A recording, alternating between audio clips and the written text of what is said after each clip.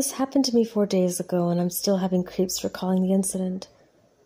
Exams are approaching in two weeks' time, so I've been burning the midnight oil studying for it, only going to sleep around three or four hours in the morning. The day after closing my book and deciding to call it a night, I switched off the lights and crawled into my bed before making myself comfortable under the covers. However, for some unknown reason, I just couldn't fall asleep. Something was bothering me. Sighing in frustration, I sat up and grabbed my phone from the nightstand. I started to scroll through pages mindlessly, from things like how to make a unicorn cupcake to urban Asian horror legends the internet speed was all right at first, but when I opened a particular site about gruesome crimes, only the background was available. It was a black in color with the face of a woman to the right.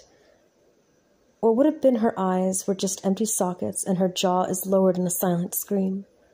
Although I usually have a strong heart for horror, this made me slightly uncomfortable as I prayed for the words to load so that I would have them distract me from the background at least.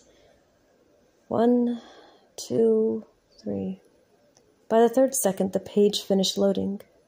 I stared at it. The background is actually white in color.